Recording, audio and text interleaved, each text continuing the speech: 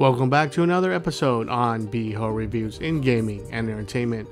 In this episode, we take a look at a sequel to an already fantastic action adventure game from 2019 with A Plague Tale Requiem.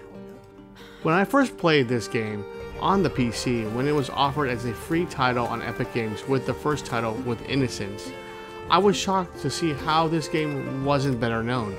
This action adventure stealth game had fantastic visuals and was paired with even a better story that gripped you till the very end. It was one of the sleeper hits that you will find that saves your season in fantasy football that no one else knew about but you. Can they truly evolve and innovate past the first with the sequel with Requiem?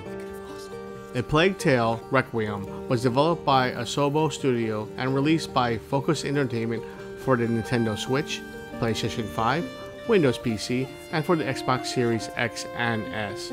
The game is exactly like the first as an action adventure stealth game. You play in third person and use stealth strategic tactics aligned with problem solving puzzles to survive and move forward.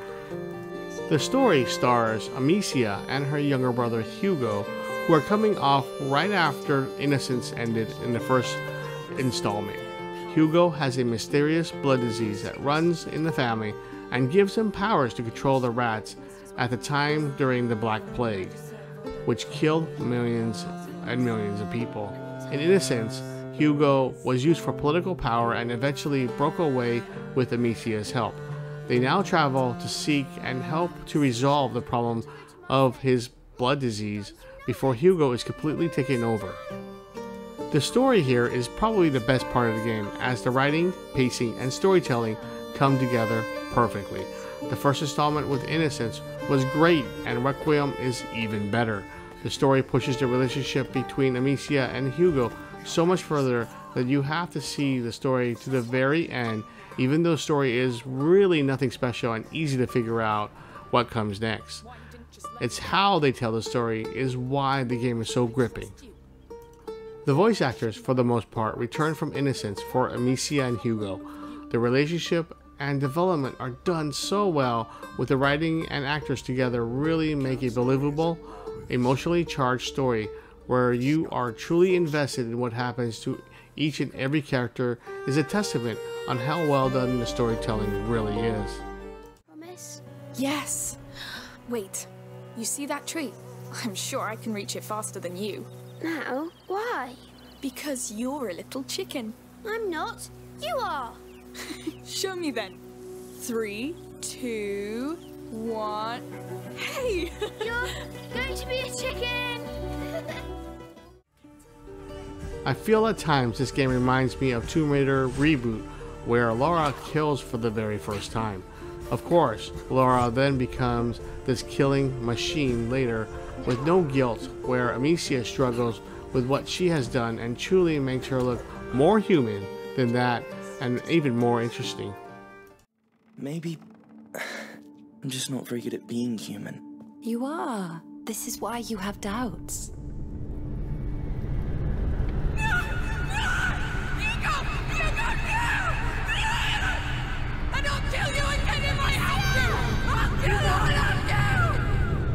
Amicia. Amicia! The soundtrack here is absolutely incredible. I listened to the title screen just to hear the entire track before even playing the game, it was so well done. The soundtrack is perfectly placed throughout the game and really intensifies major scenes to the action portion of the game to really pump up your adrenaline and keeping you glued to the television.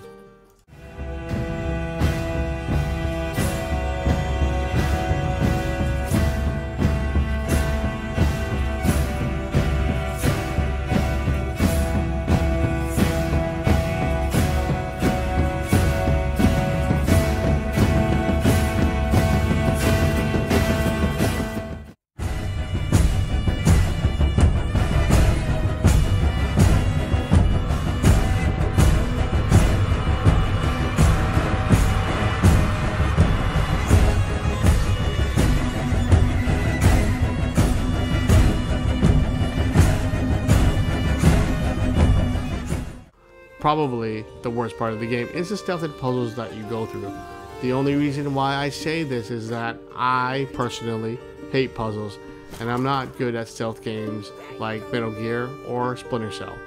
I wound up killing most of the enemies I confronted and those who got in the way was if I didn't have enough equipment or I was about to die myself.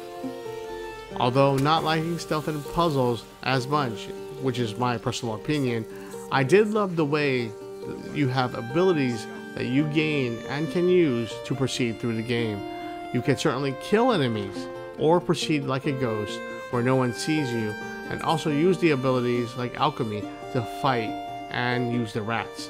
Most of the time the rats are part of the puzzle, but there are times you can just use the rats to kill the enemies in your way by controlling them or taking out light of the enemies. That is the only thing that the rats hate. And count on me to open them doors I know what's in. Huh? coming. No time to cry over them. You go, sweetie. Use it. Yes, I'll open a safe way.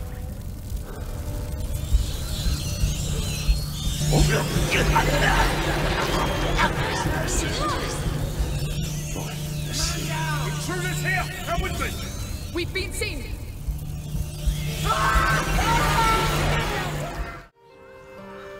As I play through the game, you do repeat what you have learned and done before to move on, and the puzzles become easier and easier. Even when you're not sure what to do next, the character you travel with suggests hints on how to move forward if you are in a jam. I leave it to you, Arnaud. Let's go. Looks like something you could use, no? With your crossbow magic. Let me see.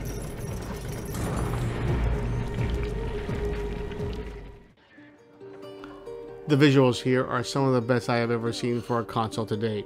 Almost every scene really pops where you can't help but marvel at the environments.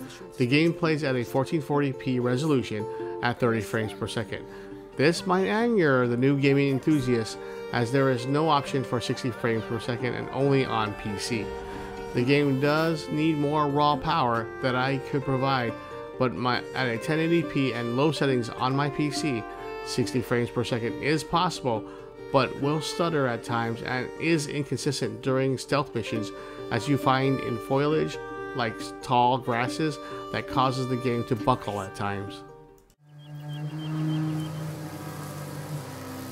What a mess. Now what use do you have for our meat and honey, huh?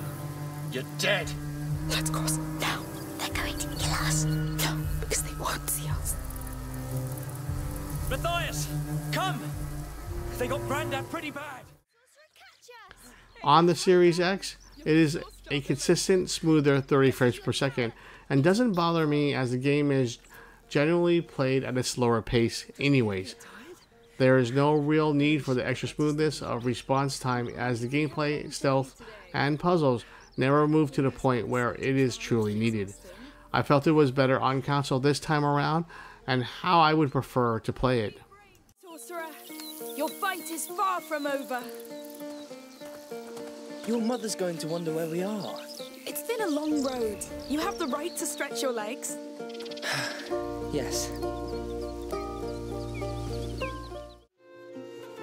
Overall, the game story is what keeps you hooked to the very end, but the visuals of the time period is done so well that it rivals everything that has come out this year. With a fantastic soundtrack to boot, this game is what you would expect in satisfying the player from beginning to end. Although the stealth and puzzles are fairly straightforward, the game is a must play in my book. A Plague Tale Requiem gets a 9.0 out of 10 for its engaging storytelling, spectacular visuals, with enough innovation in the gameplay and options that help you power through those stealth and puzzle missions. That's it for this look at A Plague's Tale Requiem. Please like and subscribe if you like my videos. Beho out and Greg take us out of here, and I will see you all next upload. To get your boat, I know someone. Who? A smuggler. Discreet chip. Fast. What you need. Great. More felons. Jess, get used to it. This is your life now, so if you want to get to La Cuna after the mess you've made, it's that boat or a 10-mile fucking swim. I can't wait to get on a boat. Huh. You see that? That is the right attitude. That is the right attitude. Damn. Uh.